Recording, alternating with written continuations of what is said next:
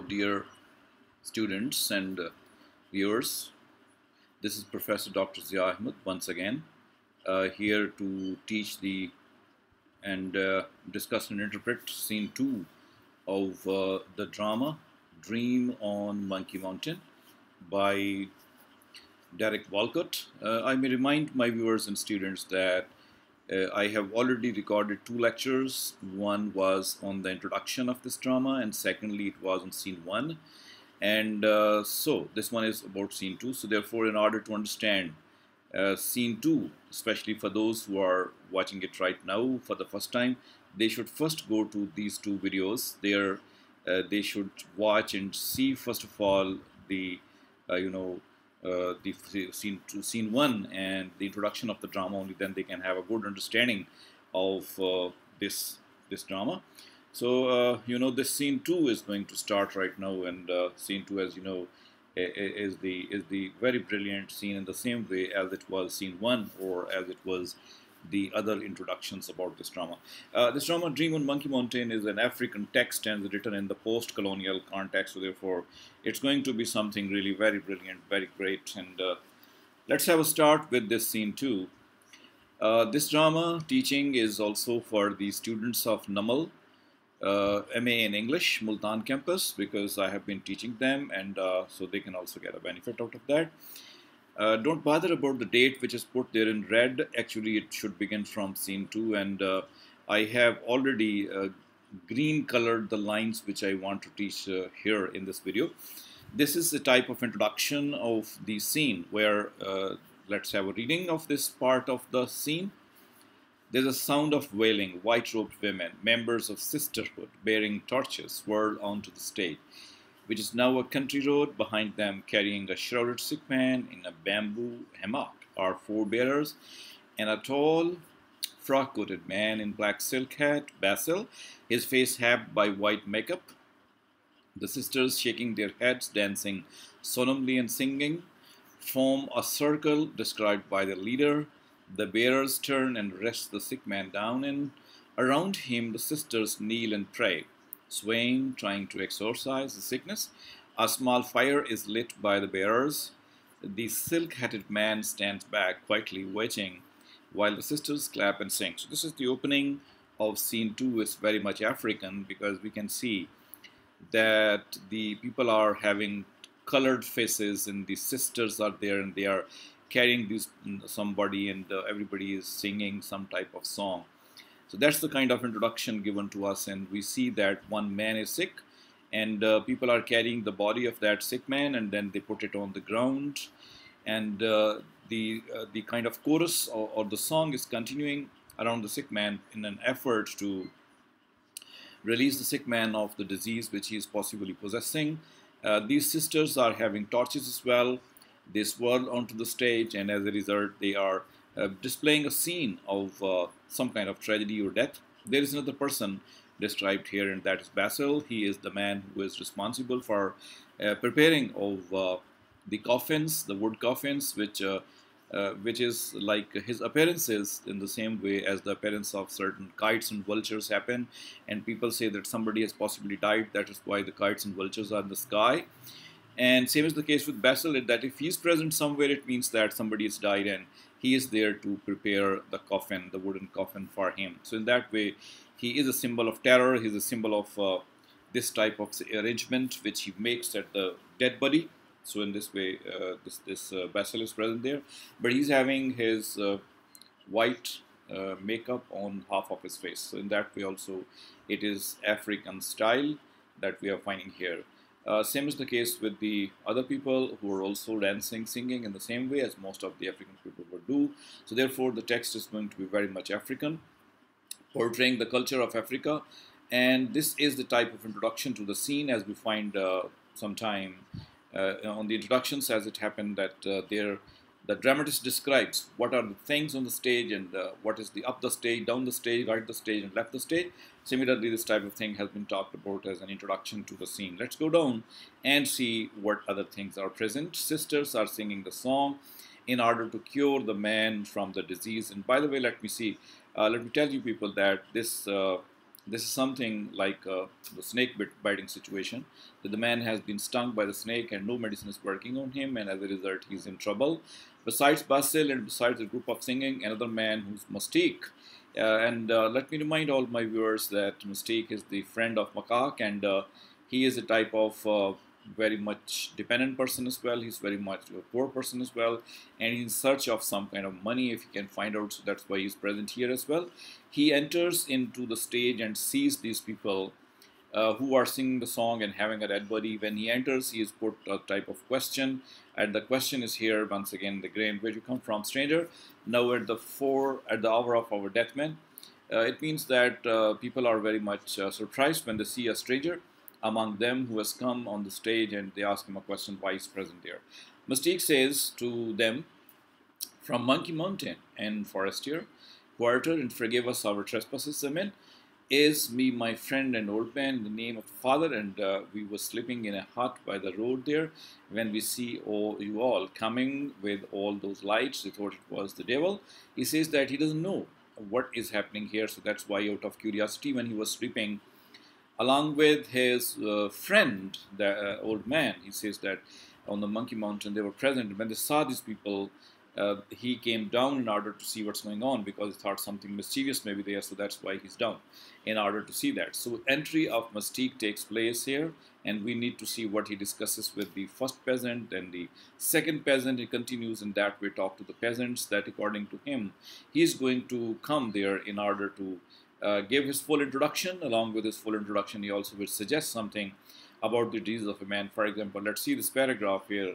Mystique, for example, says, uh, Look, I knew an old man. Uh, he been living in the forest. He knew all the herbs, plants, bush. He have this power and glory, and if you want, and it have no harm in that, I could fetch him for you. Look before you pick him again, before you choke him with that stinking medicine, before Basil, the cabinet maker, get another job forever and ever. I mean, just something to eat, and I will go and fetch him. He don't want no money, but he could cure this sick man. So here is Mystique making a deal with these people, trying to tell them that there's an old man, definitely this is Makak. According to him, this man who's been bitten by the snake will not be cured by any power. Yes, that man, Makak, has got some power. He can come down and he will get no money and only he will be willing to have some food from them, nothing else, and he will be curing that man. So in that way, Mystique tries to convince them and he refers to Basil as well, who's standing there, that he won't get in the job. I mean, the man won't die and he will not be preparing any type of coffin and this is what he tries to convince them with by saying that this thing can happen if you don't invite that old man Makak there. So he introduces Makak in such a way as if Makak is a special person bestowed with powers where no medicine is working, no plants are working, no people are working the uh, efforts and the power of Makak will work definitely, and that's why he introduced them. In that way, he is making a deal with these people. These people agree with him with reluctancy, and ultimately he goes and brings Makak there. For example, Mystique again says to these people, Here they are, master, hurriedly gesticulating, eating the bread. He removes his hat. Here he is, my master. I have explained everything. Go ahead, master. So Makak enters there on the stage as well because Mystique has brought him in order to show these people what they are doing and what they need. Then Makak comes and says, Let all who want this man to heal kneel down. I ask you, kneel. They kneel after some delay, except one or two men whom Mystique gently forces down. So, in a very traditional African way of prayer making, and of course this uh, this style may be very popular among the whole parts of the world as well that Makak enters and says that if you want that these people that this gentleman should be healed of the snake biting, then everybody is required to go into a posture which is a requesting posture, prayer posture, that is kneeling down. Makak orders everybody to do so, and everybody does so reluctantly though. But one or two people do not do so because they're not ready to believe on him. The reason being that Makak is not wearing any priestly dress, any magical dress, or any other kind of uniform which may prove that he is a very learned person or he is going to have some uh, powers given by God. He is not looking like that. So therefore, people do not try to follow him immediately. He has to convince, and Mystique has to convince them for doing so. So that's why reluctantly people are kneeling down. Uh, Makak's appearance is definitely the appearance of a very poor man, a type of ugly man as well, as the text tells us. He doesn't appear like a very, uh, very much priest of any religion, and so that is why uh, he's not that welcomed by the uh, people or the peasants who are present there. So in that way, kneeling position has been obtained and a lot of lines has been used by the writer in order to let us know that what kind of efforts Makak has been making. He is holding, Makak has been holding a type of coal in his hand, burning coal rather, and he was praying to gods and that, so that the burning coal uh, may bring some type of healing. Uh, and the healing would come only when the sweating takes place on the body of that man who is lying sick, but the uh, but nothing happens, and as a result, everybody is upset. More so is Mustique very much upset. That is why when no change comes in the condition of that man who is lying snake bitten, Makak is uh, meeting is going to meet a type of failure. At that time, Mustique becomes very angry. So he says, furious at the failure and frightened, he circulates among them angrily. Fight, fight, what happens to you? You didn't hear the man, you ain't hear the master. Sing, sing, come on, Josephus, like, let that forehead shine, boy, sing. But the singing peters out. Makak broken moves away from the body. He looks at his dry palm. So in that way, Mystique is also upset. Makak is also upset that no change is taking place. So the powers which were claimed by Makak, the, the, the, feeling is like that he is failing. But Mystique is very clever at that time. He puts the blame upon the peasants and farmers by saying them that their faith is very weak. Because weakness of the faith, it's not happening that the cure should take place. So that's why he makes them, advises them to make their faith strong and continue singing in order to arouse the interest of the gods so that the uh, magic which Makak wants to do may be done and as a result it will be possible for them to uh, cure the man. So that is why he advised them to sing sing and continue to sing as well. And after some time when both have been discussing a lot of women which is the wife of that uh, snake bitten man goes close to him and she cries out immediately by saying that he's sweating. She uses the word i sweat i sweat i sweat uh, so that goes to show that the kind of sweat which was expected out of makak's treatment that has come. Makak and Mystique return and they see that the there is a kind of sweating going on and the woman is going to do that all. And as a result, the sweating has started. The, the start of the sweating means that actually the patient will be cured of the snake bite because uh, he's in fever and that sweating means that the fever will go down and as a result the treatment will be okay. So in that way, one chance has been created by the dramatist in order to show what is the role of the chance. Uh, now it was a place where Makak could be beaten even, where Mystique could be beaten even because they were claiming something and they were claiming food from them as well. The peasants therefore uh, would be very angry with him if the cure is not coming. So by chance the cure has come, the man has started to sweat and that is why Makak has been saved and Mystique has gotten the chance in order to talk to the people that look how Makak has got the power and everybody is to obey that power as well. For example, let's go forward and see how does Mystique uh, try to justify his actions by saying, Ah, ah, you see all you. Ain't white priest come and nothing happen. Ain't white doctor come and was agony still. Ain't you take bush medicine and no sweat broke. No sweat break, white medicine, bush medicine, not one of them work. White prayers, black prayers, and still no deliverance. And who healed the man? Makak. Makak healed the man. All your deliverance lie in that man. That man's God messenger. So further the cause, brothers and sisters. Uh, he opens a haversack and holds it before him. Further the cause, drop what you have in there. Look, look, Joseph is walking. Next thing he will dance. They laugh. The wife makes him do a little dance. I tell you, he dancing, God's work must be done and lit. Like St. Peter's self mystique, that's me, is secretary to Trayer.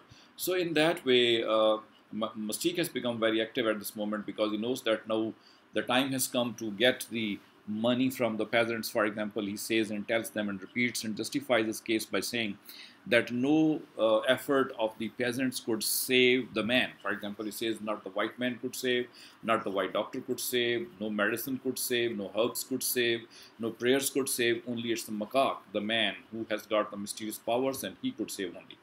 So in that way, the comparison has been drawn between the local man African man, makak and the and the people who belong to the white race, for example, the white priest and the white doctor. The failure of the white priest and white doctor has uh, been shown here, and the success of that makak has also been shown. Though it may be taken as the dream of every post-colonial person, every dependent person, every person who has been colonized to feel free and to pose that he's better than the white man, the occupier, the colonizer. But on the other hand, we can also say that the voice of a colonizer is being more made powerful here by the writer as compared to the voice or the image of the white man. So in this way, uh, it has been shown that the voice of the colonized person is coming up, though it is only only for the temporary basis, but still the voice is there. That's the job of the post-colonial literature to highlight the voice of the colonized, and that is why the literature would be called as post-colonial. So in that way, the story continues, and uh, Makak is able to get his credit back, and uh, this is Mustique also is getting lots of things from these people. He's dancing with the. He's also happy and sees that the man is curing, and he's dancing, he's singing that man as well. So in this way, he claims a special status for him. For example, for him, in the last lines of his speech, he says that he is similarly an important person for Makak, a trader secretary, in the same way as Saint Peter was to God, Saint Peter was to Christ. So he claims for himself a special position by saying that he's the one who is secretary, who's treasurer to Makak, and, and is going to have a type of messenger type of powers, and he would be so powerful. So one can say that most of the post-colonial states would go back to their faith. They would like to uh, touch the healing power of God, and they would like to request God for the security, for the freedom of these people for the end of the slavery of these people. So similarly, faith is being revived here. Faith's power is being achieved, though it may be temporary, but still the effort is being done, and that is why the text becomes post-colonial altogether in the African context, especially. Let's go down and see how does the scene end. By the way, Mustique uh, again talks uh, to to Basil and to his friend as well. For example, to Basil, he says, "I sure of that friend, but only at the sign of spider." He's uh, counting the take in the head, three coin earning at a dollar.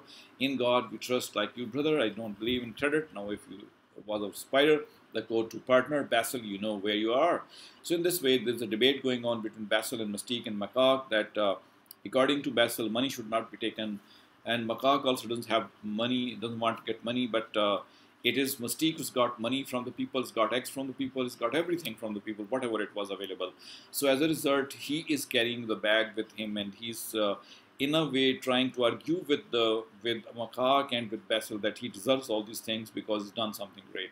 And he tells his uh, uh, money as well. For example, in these lines, he says, "Counting and believe me, as the politician said, this better than working well. Which way now, boss?" So he highlights a very uh, traditional and universal aspect that uh, in order to play on the feelings of the people, in order to cash in on the feelings of the people, it's very easy thing as, as it done by peers and fakirs. In our country also in the same way says that it's very good instead of working that one should heal the people by the tricks or by the faith or by anything and get money from the people. Makak says, you see, you see what I do there? This power, this power I know have. Makak also believes in his power. He says that the power has been granted to him, though mostly accepts that he's the madman and mostly goes under the trances of madness, but still, here he sees that he's got the power. Mustique then says, I see a sick man with the snake bite and said, damn, as is using old time medicine. I see a road paved with silver. I see this ocean multiplying with shilling. Thank God that was good, that was good by this power. So Mustique is telling his plan that this is very good to cure the people with the power of Makak and says that he will be earning so much that it will be possible for him to have a road made up of silver and all the oceans will be filled up with the shilling. This goes to show the desire of Mustique to become rich, the desire of Mustique to earn silver coins and gold coins so that he may be as rich as possible. He says that he can do so by using the skill of makak and is convincing him for this purpose as well. So a type of greed of the post-colonial man has been shown here, though he is poor, uh, though he is able to earn some money, but he is showing his uh, opposite poverty desires that how much he would desire to have so many coins with him only by doing this type of thing as done here. And Mustique continues in the replies to Makak when Makak is not ready to, you know, say that this money should be picked up. Uh, for example, Mustique says, what you want me to do? Run behind them and give them back this money? Look, I tired. I tired telling you that nothing is for free, that someday Makak swing high, swing low. You will have to sell your dream, your, your soul, your power just for the bread and shelter.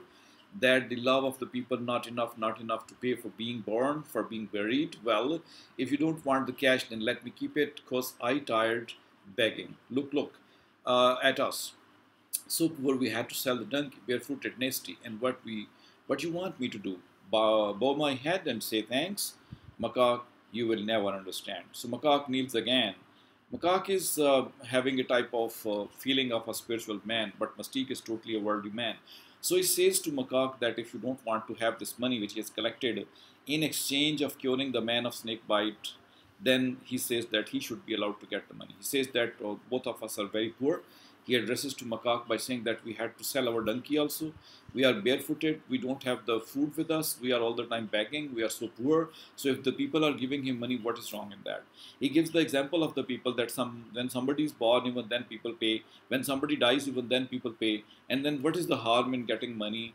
When somebody is ill and the cure has been taken place with the help of makak. But makak says that it's not right, and therefore he says to uh, he tells to Mystique that it was not rightful thing. So here is the kind of difference between the two characters. One character of Makak, other character of Mystique. Makak goes to show that he's really a type of Darvesh character, a mystic character, or a character which wants to help the people. This is desire, this is wish without earning any money. He doesn't want to change his life. But Mystique is a type of person who's very clever and very active. He would like to have money whatever the way it may be. So desire for money lies with Mystique and desire for the welfare, happiness of the people lies with Makak. So in that way, there's a lot of difference between the two characters. The question is there, what is the difference? These passages in the scene two all can be quoted. All the scene can be quoted in order to show what is the difference between Makak and Mystique. Let us go further and see how does the scene end actually. Uh, the, these two things continue to happen and ultimately uh, Makak also rises up. He says, okay, if Mystique wants to have this type of thing, then it may be having. Same is the case with uh, Mystique also, it agrees with that. But then what is in store in the next coming parts of the drama? Nobody knows that.